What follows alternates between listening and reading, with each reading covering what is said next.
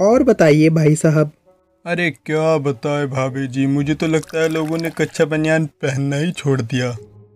वैसे आपके दुपट्टे से हमारी शर्ट मैचिंग मैचिंग हो गई। हम्म वैसे आपके छातों का बिज़नेस का